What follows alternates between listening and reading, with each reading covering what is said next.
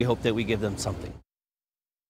Flatirons Community Church in Lafayette, Heath Gumm's family and his family in blue pulled words from their heartbreak to allow all of us to know their friend, their brother, their son, gone at the age of 31.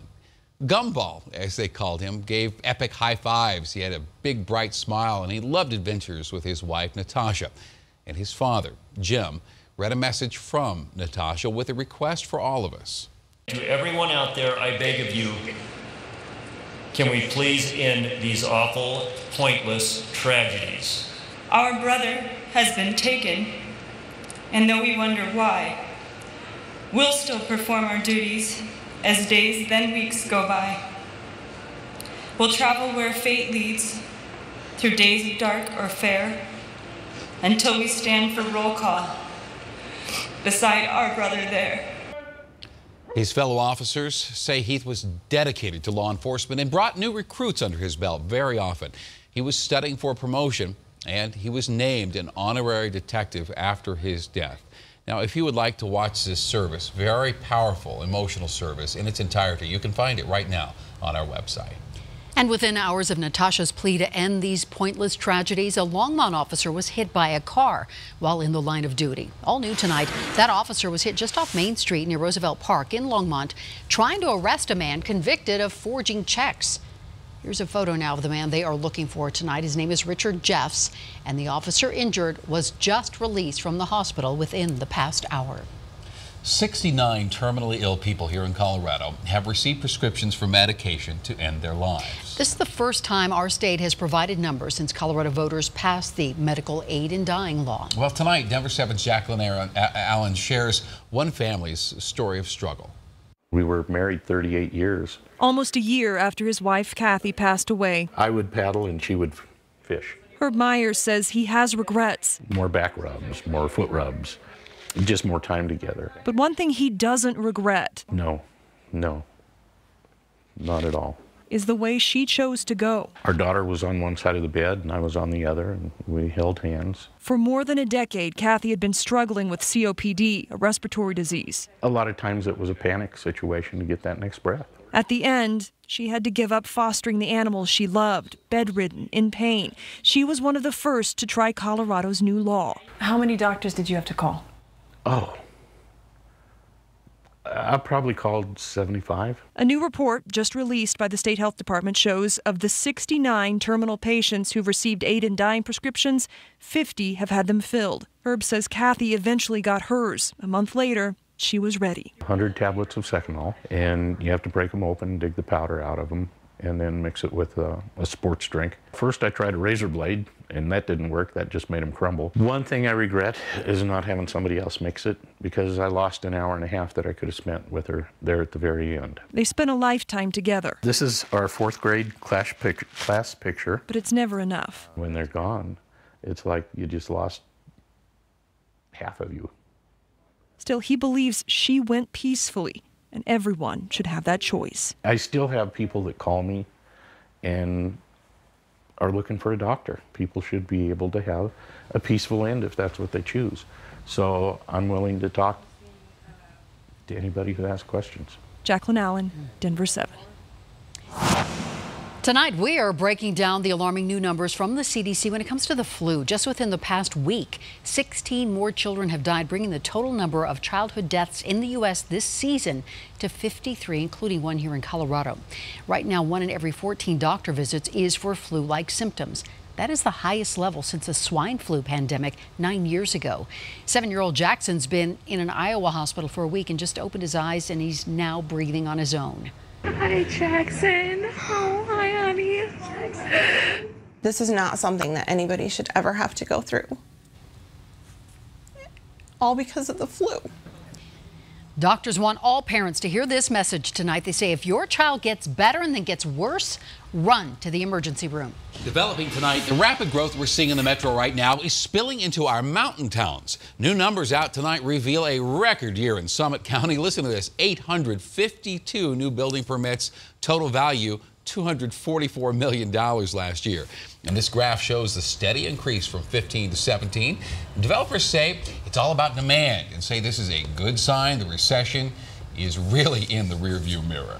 But with a boom in development and real estate prices comes a growing homeless problem that doesn't seem to be getting any better. There's an intriguing solution, though, in Lakewood in the form of a big new housing development. Now, it'll provide real resources to help homeless families transition to permanent housing. But this project will also be in one neighborhood's backyard. So we sent Jackie Crea to look at all sides of this story.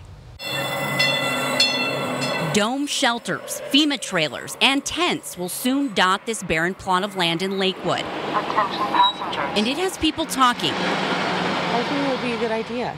There's a lot of people that are struggling. I'm a single mother. Times are hard. One paycheck, and I could be needing help like that. Help for hundreds of homeless people is on the way. But it took a fight.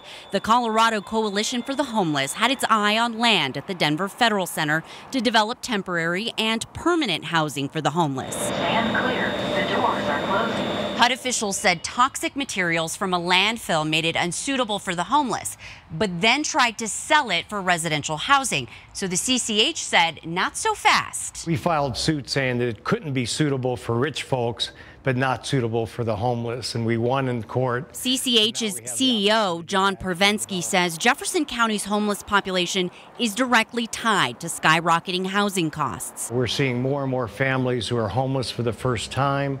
Uh, people who are just not able to pay their rent, who are losing their housing. But some don't want it in their backyard. On Next Door and in the community, the debates keep on going. But there is hope the new development will win over its new neighbors. Homeless people might just have fallen on hard times. They just need somewhere to recover and get their lives back together. In Jefferson County, Jackie Crea, Denver 7. We're just getting started. For the first time, the worker who triggered that false missile alert is explaining why he did it. Plus, the second most expensive Super Bowl of all time means big savings for all of us. I'll let you know how much weekend snow is heading to Colorado. Next on Denver 7. Hundreds of Colorado families want us all to know they will never forget their loved ones who've gone missing, never to be found. Today, families gathered on the steps of the state capitol and read the names of their loved ones lost, and then they sent bubbles up to heaven. The mother of Dylan Redwine, who went missing in 2012, was there. Dylan would have been 19 years old next week. I'm out here today because it's it's important to keep our, our children and our our loved ones' memories alive and to keep their you know their pictures and their stories out there. Um, you know, I don't want anyone to forget about Dylan, and I know all these mothers here feel the very same way that I do. Many family members wore T-shirts or carried pictures of their loved ones. All new tonight, the fired Hawaii state worker who sent out that false missile alert is talking, and he says he really believed there was a real attack. He described the call he received last month and insisted it did not sound like a drill, despite other workers who heard the word exercise multiple times. So Broncos fans aren't exactly big fans of this year's Super Bowl matchup, but everyone else seems to be. Pretty much. And right now, Patriots Eagles Super Bowl 52 tickets are on track to be the second most expensive ever behind the 2015 matchup between the Pats and the Seahawks. The average ticket Get this, it's going for more than five grand on StubHub. the cheapest seats you can get are about $3,000. Of course, most of us lucky Yikes. ones will be watching for free from the comfort of our own couches. I like the sounds of that. For everyone feeling TV envy, though, this is the best time to buy a high-tech TV from the big-name companies. Denver 7's Teresa Marchetta has the inside scoop. Jim Kim is on a mission this week. It's exactly 53 inches. He wants a new TV in time for Sunday's Super Bowl. Yeah, 4K, something that can handle fast action. Good news, he has picked a great time to buy. Yeah, Super Bowl is one of the best times to buy TVs. Casey Steele is a Best Buy HD TV expert. He says 4K is now the new standard, and 65 inches is the hottest selling size thanks to lightweight, super thin screens. 4K is actually a huge increase. It's four times the sharpness. Here's the biggest difference between buying a TV on Black Friday and shopping for one now. On Black Friday, you tend to get big sales on value brand TVs, but this time of year during the Super Bowl, you'll find big names on sale like Sony, LG, and Samsung. Um, of course, Samsung is the number one sold TV. Steele says if you want state of the art, look at Samsung's QLED or Sony and LG's OLED. The picture is much sharper and brighter. Those are kind of the ones that we really we really specialize with for Super Bowl. Also, look for the term HDR. So HDR stands for high dynamic range. Which Steele says gives you the deepest black levels. Now you're looking for a steal? Best Buy has 30% off many Samsungs, including a 65-inch Samsung 4K for 899. Sony's are pricier. They have a 65-inch for 1,099. And if you're on a budget, check out Sharp's 55-inch 4K for 399. So right here we have LG's OLED model. LG 4K TVs are also on sale at their lowest price ever, Deal News says. Target and Walmart are advertising 65-inch LG 4K TVs for under 700. Ed and Judy Sherman were stunned how good all these 4K sets look. More real than life. How about that? They are big, That that's was for succinct sure. right Pretty there, good. wasn't it? Yeah, I like that. They're big and beautiful. How All we right. looking? Yeah, we have We're a looking weekend. pretty good for the week. We have a combination of mild weather on the plains and snow in the mountains. It's a good thing to have. This is what it looked like today in time lapse from our camera that's just to the east of Fort Collins in Ault. Melted off some snow up there, but those high clouds are signs of a change coming in the weather. Mostly that will be felt in the mountains this weekend. This is what it looked like up at Loveland this afternoon. And we're looking at several periods of snow accumulating to perhaps over a foot in the high country over the course of the weekend. Down here we hit 60 in the Denver area today. 21 was the low this morning. The normals are at 44 and 17.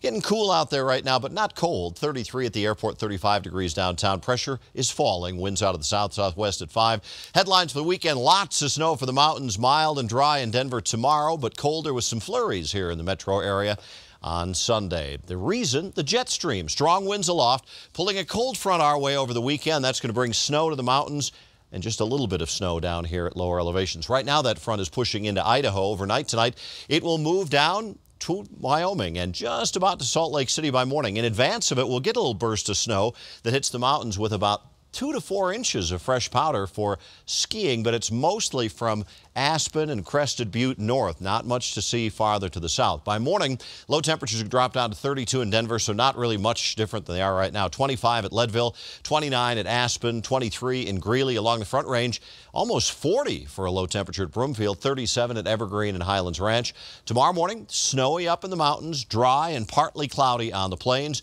The snows continue as that front moves in. For the mountains, about three to six inches tomorrow, but on the plains, just a couple of showers out in the northeast corner of the state and milder air in advance of that front. So 55 in Denver, 65 down at Pueblo, and we'll see readings mostly in the 30s and 40s farther to the west. That's the air that's coming our way for Sunday. 58 downtown tomorrow, 58 at Highlands Ranch, 55 degrees out at the airport. Tonight's forecast 32, partly cloudy, not as cold, southwest winds. Tomorrow, the high temperature at 55. Mild and dry in the plains, but snowy up in the mountains. Looking ahead, the front comes through tomorrow night, moving through here by about uh, midnight or so, and more snow coming up for Sunday morning skiing in the mountains. The front goes by with some flurry.